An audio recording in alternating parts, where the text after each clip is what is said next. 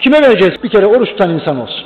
Fakir ama oruç tutsun. Bak bu önemli. Evet fakir ama orucunu tutsun ya. Niye sen bunu yapıyorsun? Fitreyi niye veriyorsun? Fidyeyi niye veriyorsun? Zorun ne? Amacın ne? Allah'a saygından, sevginden, taziminden, hürmetinden bundan dolayı sen bu işi yapıyorsun. Allah'ın rızasını kazanmak için sen bu işi yapıyorsan Allah'ın rızasına uygun yaşayan fakiri bulmakla mükellefsin. Ama hocam çok aç, çok sefil, çok perişan. Merak etme. Onların kendi cenahından adamları var. Parti örgütünden tut bilmem nesine kadar. Derneklerine, kuruluşlarına kadar. Akrabayı talukatı, şursu busu veya devletin sosyal yardımlaşması, fakir fukara fonları, kaymakamlık, şu bu var yani var.